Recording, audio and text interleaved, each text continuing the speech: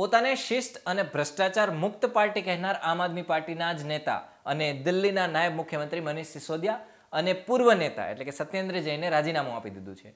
પણ આ રાજીનામાથી સવાલ ઉઠે છે કે શું મનીષ સિસોદિયાની ધરપકડ થઈ તો તેમના પર લાગેલા દિલ્હી દારૂ નીતિના આક્ષેપના જે ભ્રષ્ટાચારના આક્ષેપ છે, એ કાંડના આક્ષેપ, એ બધા સાચા છે? નમસ્કાર, જમાવટ સાથે હું સમીર.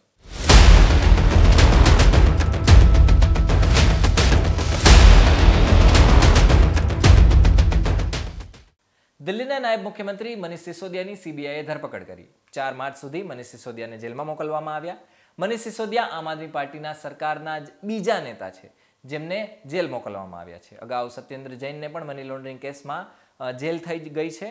પણ અચાનક અત્યારે મનીષ સિસોદિયાના રાજીનામાથી દેશની રાજનીતિમાં ખળભળાટ મચી ગયો છે દિલ્હી સરકારની દારૂ નીતિમાં થયેલા કથિત ભ્રષ્ટાચાર મામલે મનીષ સિસોદિયાની સીબીઆઈએ ધરપકડ કરી છે આ મામલે દિલ્હી આમ આદમી પાર્ટીએ કહ્યું હતું શું કહ્યું ચાલો સાંભળીએ दोस्तों आप लोगों को जानकारी होगी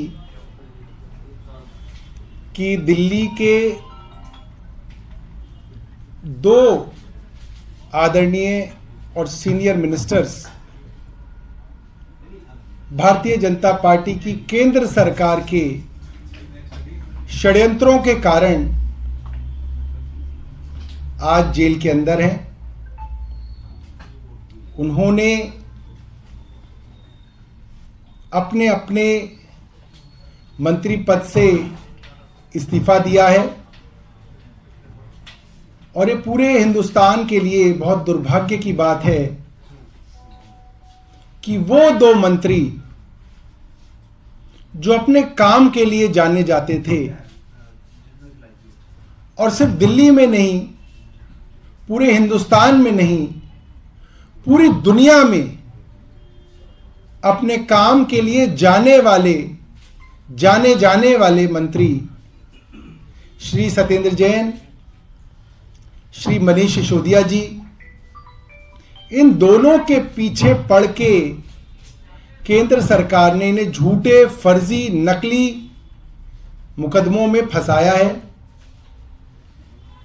और ये संदेश पूरी दुनिया में जा रहा है आज कि सबसे ज़्यादा काम करने वाले मंत्रियों के पीछे देश की केंद्र सरकार पड़ी हुई है। ये कोई अच्छे संकेत नहीं है। ये के झूठे हैं, फर्जी हैं हमारे दोनों मंत्री पूरी ईमानदारी से अपना पूरा जीवन जो है समर्पण कर रहे हैं इस समाज के लिए, दिल्ली के लिए, अपने देश के लिए। और आज उनका इस्तीफा मुख्यमंत्री जी को मिला है। उन दोनों ने अपना अपना इस्तीफा मुख्यमंत्री जी को दिया है, क्योंकि दिल्ली में छोटी कैबिनेट है। मुख्यमंत्री जी और उनके साथ छह मंत्री मंत्री परिषद में होते हैं। और सत्येंद्र जैन जी और मनीष सिसोदिया जी के पास सब लोग जानते हैं। ज़्यादातर जो अहम मंत्रालय थे, पोर्टफोलियोज थे, डिपार्टमेंट्स थे, वो इन दो हमारे सीनियर मिनिस्टर्स के पास थे। तो इनके, इनकी एब्सेंस में दिल्ली वालों का काम जो है, वो प्रभावित ना हो, दिल्ली का काम ना रुके, दिल्ली वालों को कोई परेशानी ना हो, इसलिए इन्होंने इस्तीफे दिए हैं। इनकी जगह दो नए मंत्री जल्द बनाए जाएँगे, मगर पूरी की पूरी आम आदमी पार्टी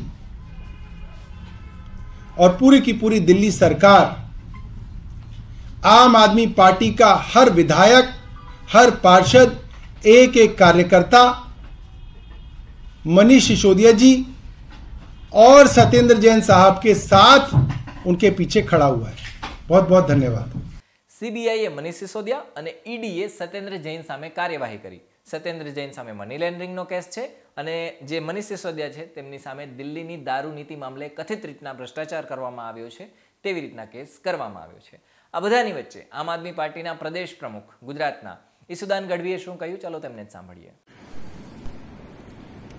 બિલકુલ જે રીતે સીબીઆઈનો દુરુપયોગ કરીને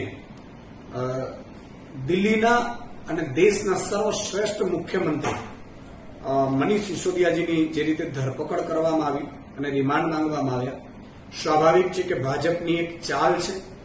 આ તો સમગ્ર એક્સાઇઝ પોલીસની જો વાત હોય, તો એ તો એલજી એપ્રુવલ કરે છે. એલજી ગૃહ મંત્રાલયને મોકલે છે.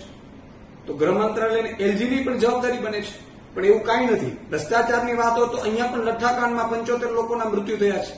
બ્રિજ તૂટ્યો છે. કોઈ મંત્રી જેલમાં નથી ગયો. તો સ્વાભાવિકપણે ભાજપ સરકાર અરવિંદ કેજરીવાલજીને આમ આદમી પાર્ટીના વધતા પ્રભાવથી ડરી ગઈ છે. એટલા માટે એમની ધરપકડ કરવામાં આવી છે. પણ મનીષ સિસોદિયાજી સ્વાભાવિક છે કે અઢાર જેટલા વિભાગો સંભાળતા હતા ફાઇનાન્સ મિનિસ્ટર પણ હતા બજેટ પણ રજૂ કરવાનું તૈયારીઓની હોય. તો એના અનુસંધાને મનીષ સિસોદિયાજી અને સત્યેન્દ્ર જૈનજીનું રાજીનામું લીધું છે, જેથી કરી એમને અસર ન થાય કામ ઉપર. અને સ્વાભાવિક છે કે અમે સત્યની લડાઈ છે, એ લડતા રહેશું.